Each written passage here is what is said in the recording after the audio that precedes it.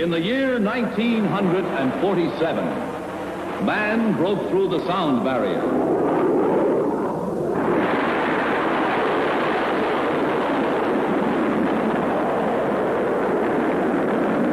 In the year 1958, man launched the first satellite and pierced the space barrier.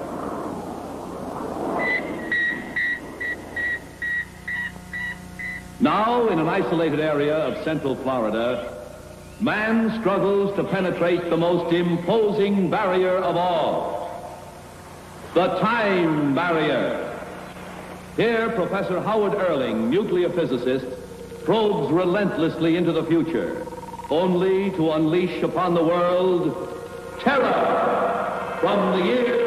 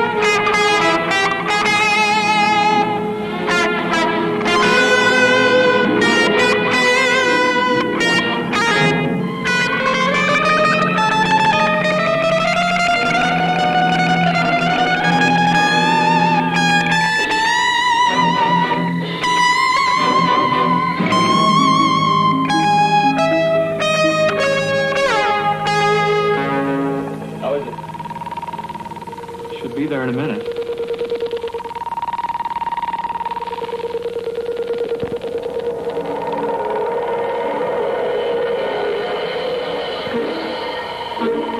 Professor, look quickly.